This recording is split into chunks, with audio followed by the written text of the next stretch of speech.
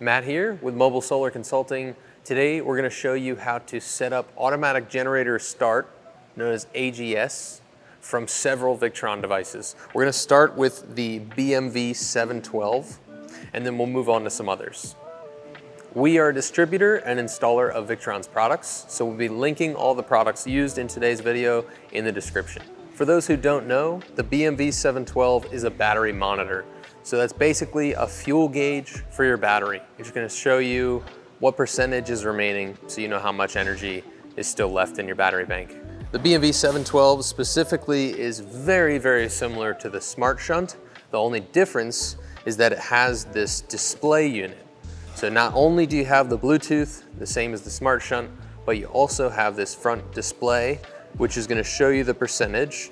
And then also the display has a relay on the back. The relay on the back of this display unit can do several things, one of which is to start your generator. So we're gonna show you how to do that. First, we're gonna show you how to connect this to a two wire start generator.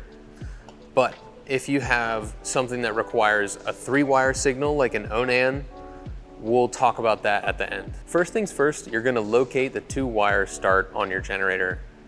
When you close this contact, the generator runs and when you open this contact, the generator stops.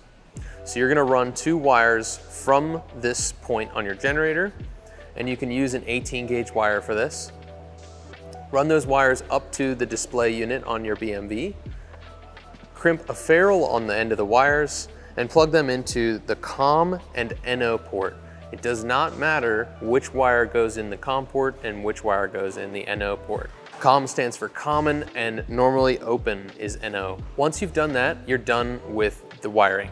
Now we're gonna move on to programming. So open up Victron Connect on your phone and click on your BMV 712. Click on the gear icon in the top right corner to open the settings menu and then click relay to adjust the relay settings.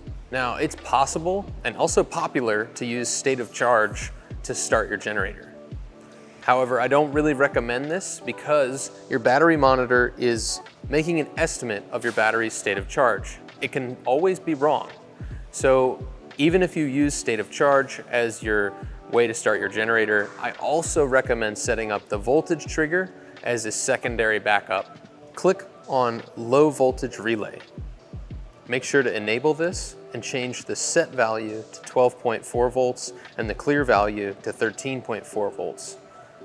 This will mean the generator is gonna start around 20% and then stop around 50%. Feel free to adjust these values to however you want this to work.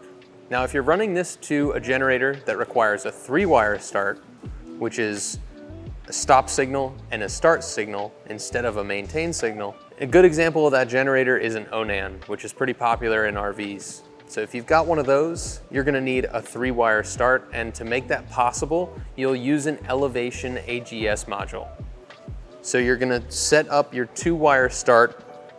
You'll take your two wires from your NO and your COM on the Victron BMV, and you'll run them to the elevation AGS. And then the elevation AGS converts that to a three wire signal. So you run three wires from the elevation to your generator. If you purchase the elevation from us, we provide a free wire diagram that shows you where those wires connect into your ONAN gen as well.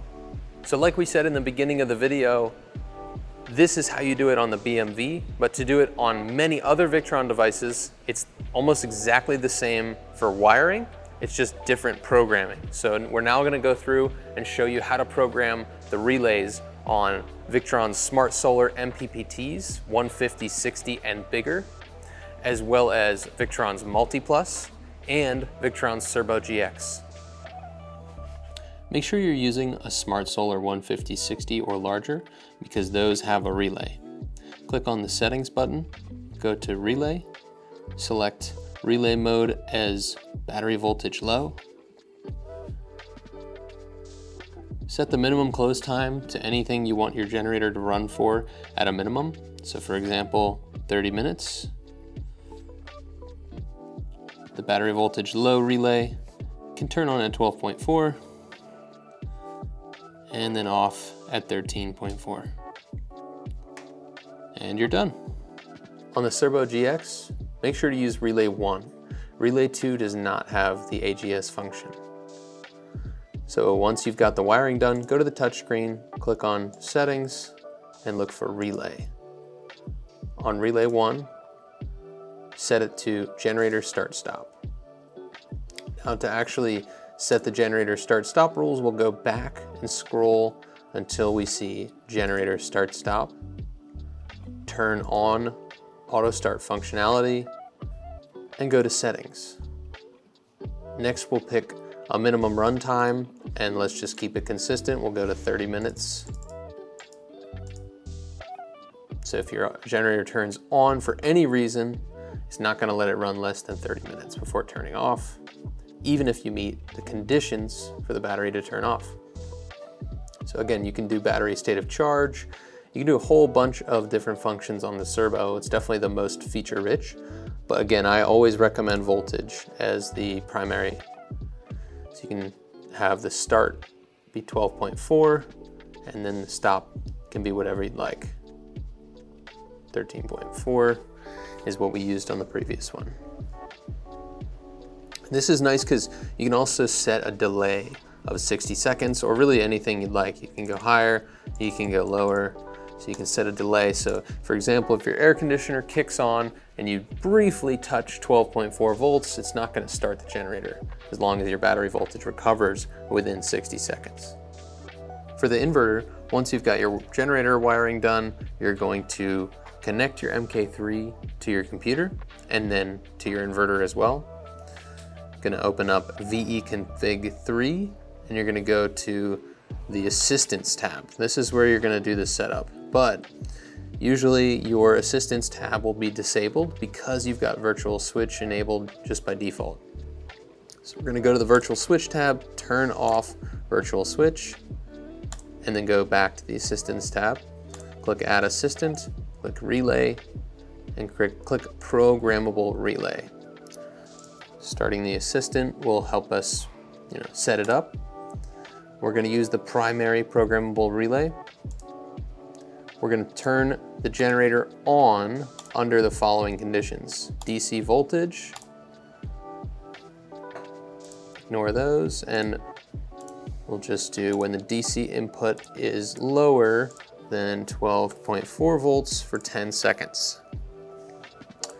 Perfect, we're done, but this is gonna start your generator. It's not going to turn it off, so we've got to add another assistant of the same style, set it up, turn the generator off when the DC voltage is above 13.4.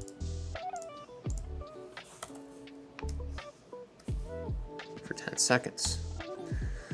So just to point out, this is really nice to do this with the Multiplus or the Cerbo because you've got a whole lot of features. You can set the relay on or off based on a variety of triggers. The MPPT and the BMV have several less options. So once you're done with those settings, you'll just click send settings.